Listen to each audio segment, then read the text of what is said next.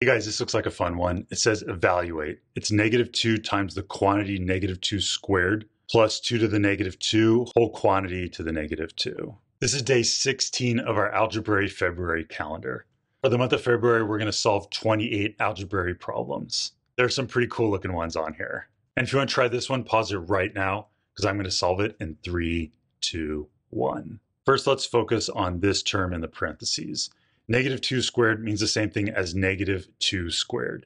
You end up doing the exponent before you apply the negative. Inside the parentheses, 2 squared is equal to 4. So the first term is negative 4.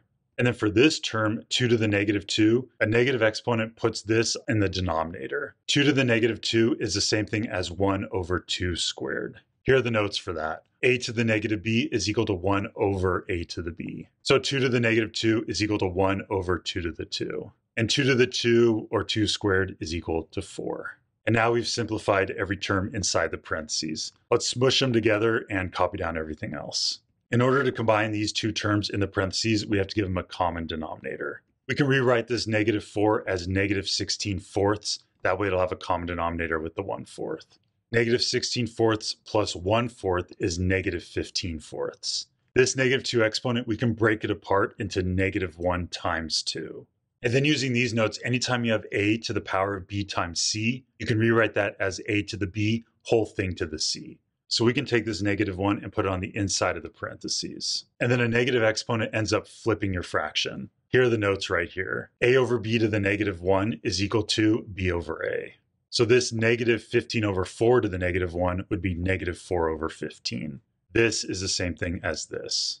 So now we have negative 4 over 15 in the parentheses. This squared means the same thing as this multiplied by itself. And when you're multiplying fractions, you can make them a single fraction and multiply across. Negative 4 times negative 4 is positive 16, and 15 times 15 is positive 225. Now we need to multiply this 16 over 225 times negative 2.